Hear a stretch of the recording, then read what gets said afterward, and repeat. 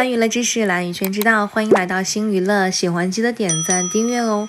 何鸿燊四位太太里，四太梁安琪作风高调，赌王生前一直陪伴左右。殊不知二太蓝琼英才是真正的厉害角色。何鸿燊曾是香港一个落魄的贵公子，揣着十块钱到澳门谋生。人穷志不短的他遇到了澳门第一美人李婉华，他的父亲还是知名的律师，澳门唯一一个公证人。何鸿燊费尽心思博得美人芳心，两人于一九四二年结婚。婚后他也得到岳父的。赏识，还把他带在身边当秘书，结交人脉。何鸿燊在李家的帮助下，在澳门做起了生意，开始站稳了脚。何鸿燊搞过纺织，做过船务，最终瞄准了博彩这个油水极大的生意。但澳门的博彩生意竞争激烈，被几个老牌家族垄断。何鸿燊这个根基不深的年轻人，很快就败下阵来，甚至被赶到了葡萄牙。几年后，澳门政府为了整顿博彩业，收回了赌牌，并重新竞投。何鸿燊联合霍英东等资金雄厚、背景过硬的大佬联合竞投，最终拿下赌牌，并成立了澳娱公司。何鸿燊担任总经理，负责主要事务。何鸿燊的事业越来越好，李婉华还生下了一子三女。本来一家人其乐融融，但李婉华却突然病了。一九五七年，也是李婉华嫁给何鸿燊的第十五年，她患上了结肠炎，被切除了大半个胃，几乎卧床不起。此时何鸿燊正在春风得意，他说自己不能当和尚，况且家大业大，需要太太操持家务，于是便按照当时的大清律例娶了二太太蓝琼英。那时蓝琼英不过。才十四岁，何鸿燊选了她也别有用心。蓝琼英的祖父是民国少将蓝英南，父亲蓝建仪毕业于黄埔军校，曾参加过抗日战争。一九四九年，带着家人到香港定居，并开了一家丝绸店。有传闻说，丝绸店不过是蓝家的障眼法。蓝建义也是受国民党的指令进行帮派活动，而蓝琼英的哥哥。蓝华英的确也成了江湖大佬，向华强的父亲向前也毕业于黄埔军校，更是戴笠的门生。到香港后，创立了第一大。帮派新义安，从这一点上看，蓝家的背景就不简单。当初李婉华帮何鸿燊在澳门有了身份，此时他需要一个人帮自己稳固事业。蓝琼英的家族背景刚好合适，在澳门做赌场，没有江湖背景是不行的。赌场里的聚集的人鬼蛇混杂，各个赌场竞争激烈，必须要有马仔维护治安，守住自己的客源，关键时刻还得跟别家争地盘。何鸿燊是个体面人，自然。不能做这些事儿，他急需可靠的江湖势力。蓝华英刚好能帮到他。何鸿燊在一次宴会上见到蓝琼英，这个小姑娘接受过良好教育，举止大方得体，还擅长跳舞。她正好是自己最需要太太。嫁入何府后，蓝琼英陪何鸿燊出入各种社交场合。她青春活力又教养良好，夫妇二人都喜欢跳舞，被称为舞王和舞后。蓝琼缨给何鸿燊增光不少，加上李婉华卧床不起，她已然就是何家太太。而何鸿燊为了将长房和二房一碗水端平，可是没少下功夫。何鸿燊总是对外称长房和二房一样疼爱，同样重要。何家未传出过蓝琼缨和李婉华争宠的丑闻。然而，这种和平是建立在两人不见面基础上的。蓝琼缨一家住在香港，李婉华一家住在澳门，两个太太分而。只知不分尊卑。然而，随着蓝琼英的孩子出生，情况开始发生变化。李婉华所生的长子何有光一直被视为家族继承人，他也是何鸿燊唯一的儿子。蓝琼英连生四个女儿，终于在1977年生下了儿子何有龙。从名字就可以看到蓝琼英的野心。何有龙出生时，何有光已经28岁，已经进入了家族企业，并被委以重任。那时何鸿燊已经56岁，开始进入老年。他安排了左膀右臂在何有光身边辅佐，培养接班人的意图十分的明显。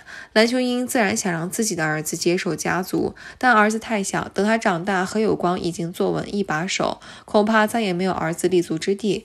万一何有光再生下长孙，那么二房彻底就被边缘化了。结果，一九八一年，何有光和妻子在葡萄牙刚刚见过何鸿燊后，就因车祸去世。李婉华深受打击，从此神志不清。这不。不禁让外界猜想蓝琼英是个最有作案动机和作案能力的人。何有光是何超英最疼爱的弟弟，而何鸿燊却不允许何超英调查此事。这件事之后，蓝琼英突然带着孩子移居加拿大，与家人团聚，十分的令人意外。但何鸿燊为什么能忍受儿子去世不去查找真凶呢？这说到底还是因为利益。何鸿燊当时虽然已经有了赌王的名号，掌管着澳门大半赌场，但依旧危机重重。澳娱已经发展成了澳门最大的博彩公司，何鸿燊不过占股百分之三十，霍家占股百分之二十。一旦何鸿燊离婚，蓝琼英势必要分走一部分股权。更加削弱了何鸿燊的话语权。另一方面，蓝华英还是非常有影响力的帮派势力。崩牙驹等澳门黑帮尚未成长起来，何鸿燊的赌场还需要大舅哥的支持，根本得罪不起他们，所以何鸿燊只能让蓝琼英前往加拿大，自己一边承受着丧子之痛，一边重新打理自己的事业。然而蓝琼英也留了一手，那就是三太陈婉珍。她本来是李婉华的私人看护，与何鸿燊经常见面，日久生情，便被纳入了三房。很多人都以为陈婉珍是李婉华的安排，但那时的李婉。华早已神志不清，甚至有传闻说陈婉珍的姐姐陈婉芳是蓝建义的干女儿，她就是蓝琼英故意安排的眼线。蓝琼英知道何鸿燊一定会找一位太太陪同他出席各种场合，还不如亲自安排一个人拴牢丈夫。从后期来看，陈婉珍也是最低调的太太，从来不参与争夺家产。但后面的四太梁安琪就不一样了。梁安琪是何鸿燊最疼爱的太太，她出身草根，好强又努力，满脸写着野心勃勃。梁安琪成为四太的时候，何鸿燊已经六十八岁。何鸿燊把梁安琪带在身边，手把手教她管理赌场。梁安琪也不负所望，不仅生下了三子二女。还迅速建立了自己的人脉，与崩牙驹等帮派十分的熟稔。何鸿燊对四太非常满意，刚好这时澳门的帮派势力开始更迭，崩牙驹、街市委、水房赖等人已经上位。何鸿燊有意扶持梁安琪掌管澳娱，替代蓝琼英在家族的位置。眼看着梁安琪进入。奥娱高层蓝琼英怎么会坐视不管？远在加拿大，他安排街市委伏击梁安琪。据说街市委将梁安琪约到餐厅吃饭，并偷偷给他下药。幸好梁安琪及时发现异样，借口上厕所给崩牙驹打电话求救。崩牙驹迅速赶到救走梁安琪。几天后，街市委就被人打断了腿。这件事并没有吓到梁安琪，反而让他更有野心。就算为了几个年幼的儿女，也必须要争到底。而何鸿燊也更加。他疼爱梁安琪，他在澳门几乎都住在四房家。四房儿女小时候并不知道还有其他的兄弟姐妹，以为只是名字相似。几年后，何鸿燊意外摔伤，接受了脑部手术，从此便需要轮椅相伴。何鸿燊对于事业已经有心无力，开始着手分配家产，早打算。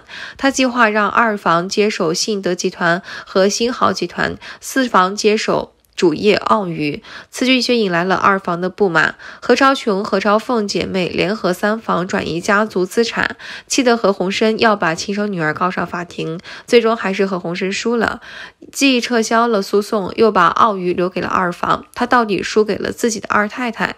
最终，二房成为最大赢家，拿走何家三块赌牌。二房姐弟个个身家百亿。二房何超凤成为澳娱主席，并联合元老霍家统一战线。梁安琪不过是澳娱的小股东，在二房的夹击下，更加没有话语权，反倒一再损失多年的亲信。何鸿燊去世后，梁安琪彻底失去了靠山，他几百亿的身家也要分给儿女助力事业，完全没有实力与二房抗衡。他不得不委曲求全，还让孩子们去给何超琼庆生。但梁安琪也绝对不会善罢甘休，四房率先生下了长孙何广深。是何家唯一的孙儿。二房虽然强势，但人员凋零。三代目前只有三个女孩。何超琼目前也已经六十岁，再过十年谁胜谁负还未可知。赌王家族的争斗比想象中的还要血腥，只能怪何鸿燊五千亿的资产太诱人，几个太太又太强势。蓝琼英绝对是赌王家族中最被低估的存在，教出了几个颇有手腕的儿女，吃下大半资产。即便远在加拿大的。也是家产之争的核心人物。然而，没有当年十四岁的蓝琼英，也许就没有何鸿燊的事业，他也无法像霍英东一样要求他以长房为尊。人生每一个选择都决定着命运，何鸿燊至死都未能获得安宁，不知是否后悔娶了蓝家那个小女孩。